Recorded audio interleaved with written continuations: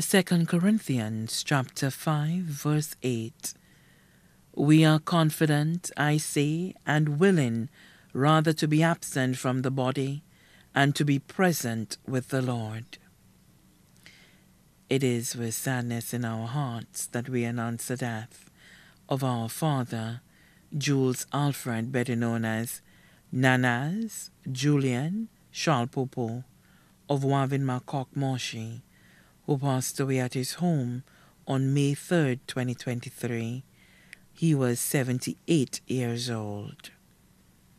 Left to mourn, his daughters Natasha Polius of Gara Babonneau, Janicia Martha of Martinique, son Nixon Joseph of Wavin Makok Moshi, son-in-law Zacchaeus Aurelia of Gara Babonneau, brothers Willerton Alfred of Laborn Moshi, Earl Alfred of Wavin Makok Moshi, Eustace Alfred of Wavin Makok, sisters Madeleine Alfred of Barbados, Teresa Paul of Margaretude Moshi, five grandchildren, 24 nieces, 18 nephews, close friends, Papo and family of Wavin Makok, Anne Marie Mitchell, better known as Yaya, of the United States,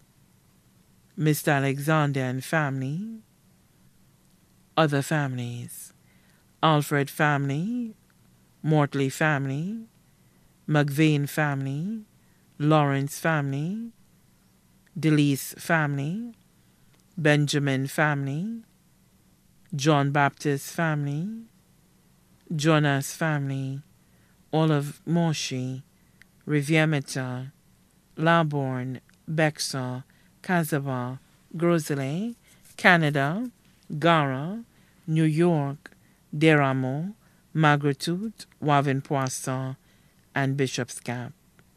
Friends and neighbors of Wavin Makok, Moshi. Friends and family too numerous to mention.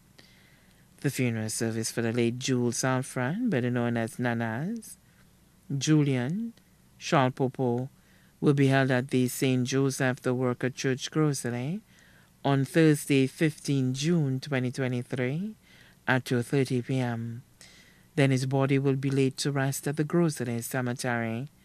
His body now lies at Crick's Funeral Home Limited, Vide Bouteille, Castries. The family would like to extend sincere thanks to everyone who attended the service, sent greetings, and or supported the family during their grieving period. Bus number M20 will be at Wavin Makok Moshi from 1.30 p.m and leaves at 2 p.m. Please note the family would like to mourn in peace.